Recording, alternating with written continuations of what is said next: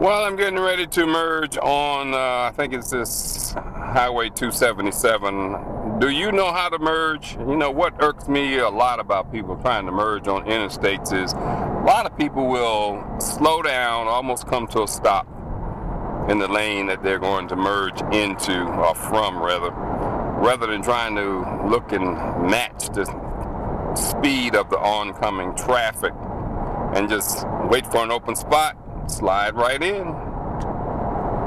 Here we're talking about merging again. You have people coming in from the right lane. If you're in the left right lane, then you should just slide over to the left lane and at least give them an opportunity to merge into the oncoming traffic at the proper speed.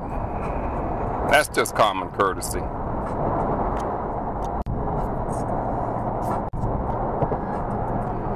Now coming up I'm going to be merging onto an interstate which is a little different than just merging on one of your regular highways. Obviously interstate traffic is moving a lot faster. There are a couple of more lanes to be merging.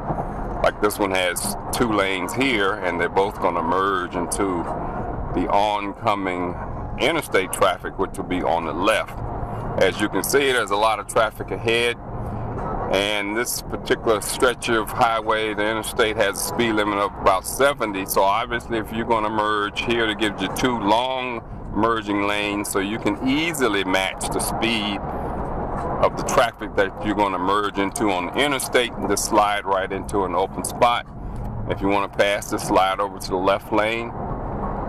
Here I'm going to set the cruise control to the matching speed of the, the interstate traffic or the effective speed limit, which is 70, and that's how you safely merge on an interstate.